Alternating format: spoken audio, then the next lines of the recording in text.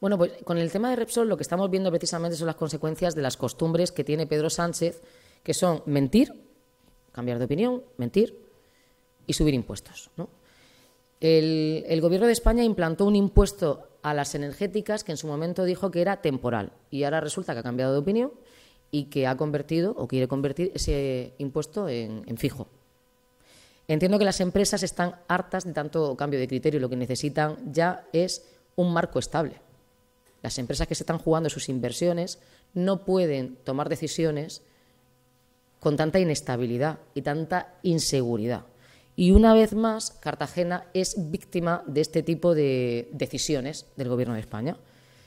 El Gobierno de España tiene que corregir tanto bandazo, cambio de opinión, mentiras, bandazos, como quieran llamarlo.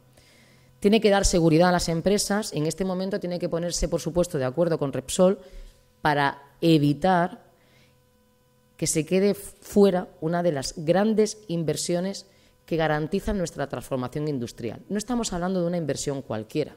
La inversión de Repsol, la inversión de la que estamos hablando, que corre peligro, es una inversión que nos va a permitir llevar a cabo la gran transformación industrial del Valle de Escombreras hacia el hidrógeno verde. Una transformación que es completamente necesaria. 200 millones de euros, una previsión de 1.100 empleos. Es fundamental esta inversión para Cartagena, para la región y para nuestro país.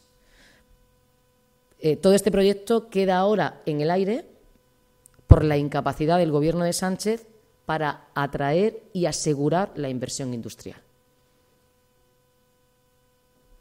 Los empresarios necesitan estabilidad y, por supuesto, garantías para no poner en peligro estas inversiones de máxima importancia para nuestra ciudad.